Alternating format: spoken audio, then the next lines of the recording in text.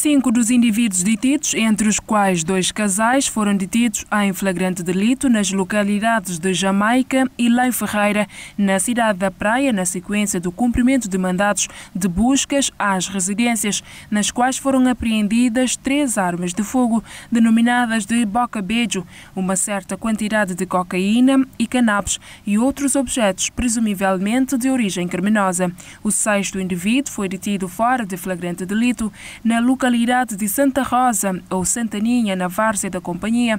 em cumprimento de um mandado do Ministério Público na sequência de um crime de homicídio ocorrido no passado dia 30 de dezembro de 2020 na localidade de Jamaica. Os detidos, conforme o comunicado da Polícia Judiciária, serão presentes no tempo legal às autoridades judiciárias competentes para o efeito do primeiro interrogatório judicial de arguidos detidos e aplicação de medidas de equação pessoal pessoal.